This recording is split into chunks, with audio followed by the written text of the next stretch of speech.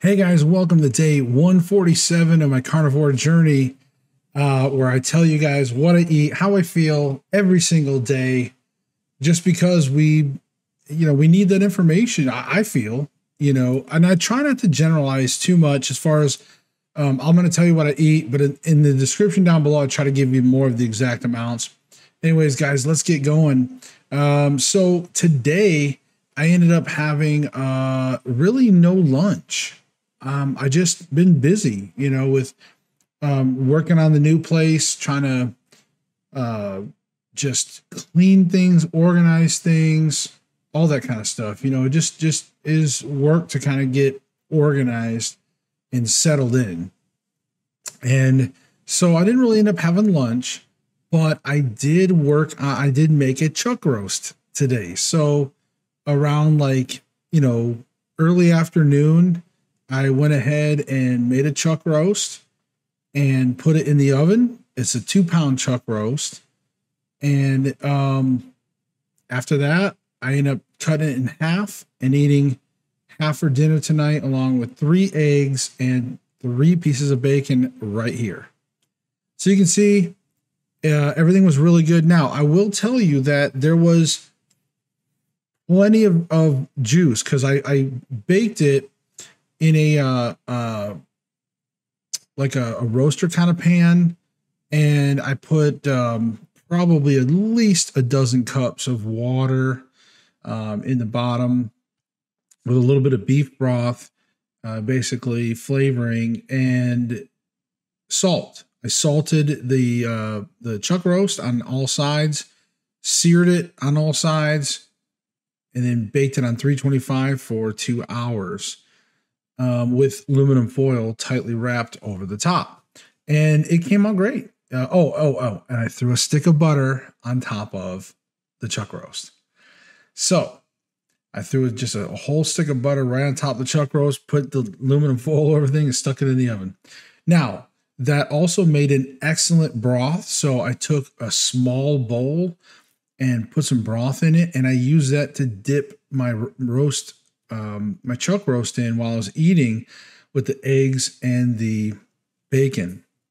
Now, I want to talk about food fatigue. I know this is something that some of you worry about, especially some of you in the first couple months of carnivore. And as I'm approaching my six, I can't believe it's almost six months. I cannot believe that. Holy crap.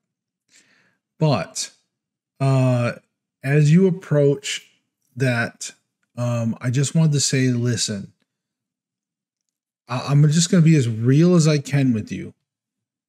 There's going to be days when you just see a bunch of things, you start craving them, and then you start thinking, maybe I'm going to do some kind of variety.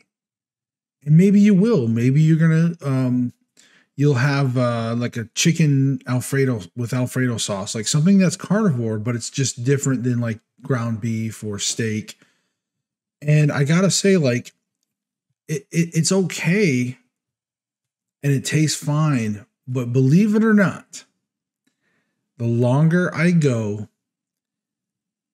in the carnivore journey, the more I actually enjoy eating eggs steak and beef over and over and over.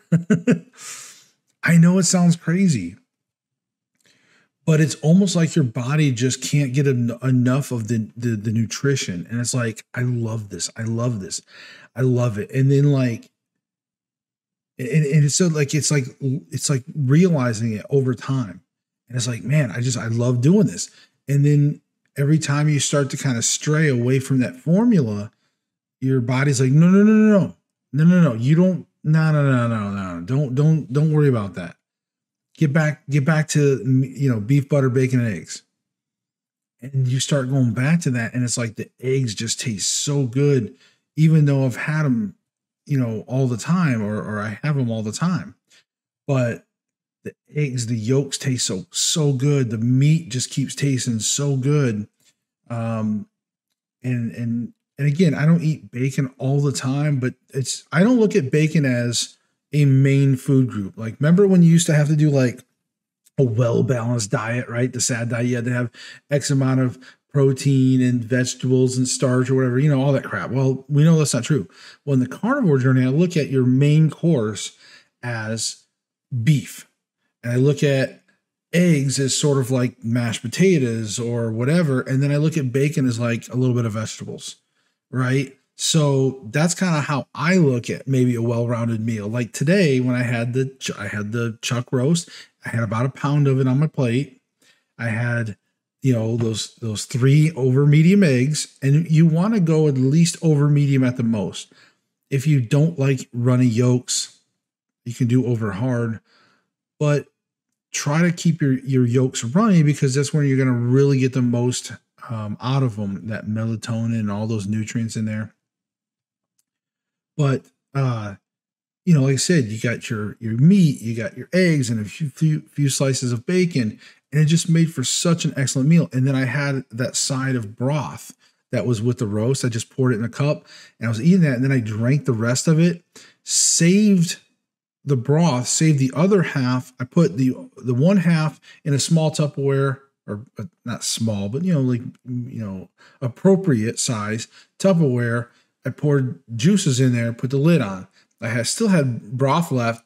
Found another Tupperware container, poured that in there, put a lid on there. So if I wanted to have, like, say, a bowl of beef broth, I've got it. It's an excellent flavor, tastes amazing, just salt, butter, and beef, you know, flavor, but it tastes amazing. It really came out good. Good. So I just wanted to address the food fatigue thing because I know it's a big thing for a lot of people. And when you first start, your mentality is, God, how am I going to do this? Because I can't see myself eating the same thing over and over and over because I already love a variety of foods. When you came into this in the sad diet and you were addicted to all those carbs, all those sugars, we used to eat hundreds of different types of foods.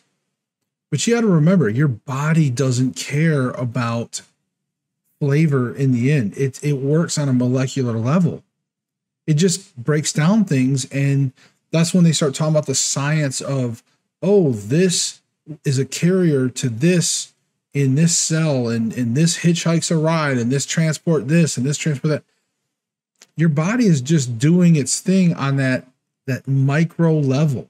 It doesn't care about flavor and all that other crap. So, you know, yeah, a cookie might taste amazing, but on a molecular level, it's damaging you and hurting you.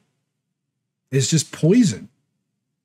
So that's why it's important to get those nutrients in. But, anyways, but as far as actual food fatigue, though, flavor wise and eating the same thing, yes, I, occasionally I still want to experiment and stray. But as soon as I do, like I said, you're right back at it into the beef, butter, bacon, and eggs again. I'm telling you. And it's amazing. It's amazing. I never thought I'd be like that, but I am. So, guys, anybody that's new, hang in there. I'm telling you, it will continue to reward you over and over and over. And guess what? I'm going to be weighing in in a few days. Uh, Wednesday. Wednesday's going to be day 150. So I can't wait, guys. All right, we will see you tomorrow, day 148 on Monday. Holy crap. Where does the time go? Seriously, guys. All right, love you all. Love you guys. Oh, and I don't know if it's if it's still here. I don't like to celebrate um subscribers too much because um sometimes you like hit a number like I hit 900 but then like somebody will just like unsubscribe or something and I'll be back to like 8.99 right now. I don't know. Like I don't I don't like to sub, to celebrate too much of that stuff. Um, my biggest thing is like I appreciate everybody. I appreciate the support. I appreciate the the views, um, the love, the comments. I mean, we've been building a family here and I love it. And I love you guys. And that's the most important thing. It's not about numbers here. Um, all right, guys, I love you. I hope you enjoyed uh, my take on food fatigue. So, all right, bye.